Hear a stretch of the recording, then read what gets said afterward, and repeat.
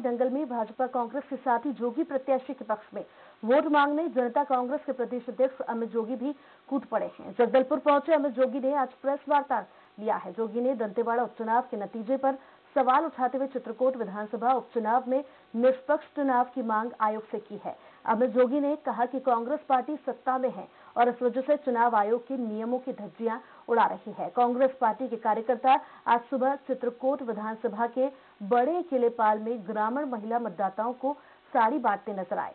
बकायदा कांग्रेस पार्टी के कार्यकर्ता साड़ी के बंडल लेकर महिला मतदाताओं को प्रलोभन दे रहे हैं।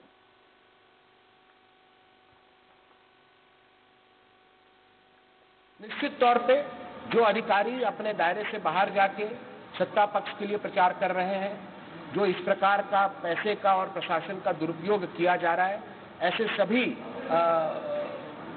वारदातों का संज्ञान चुनाव आयोग को दिया जाएगा। नवरात्र पर्व के अवसर पर गलिया पहाड़ में फैली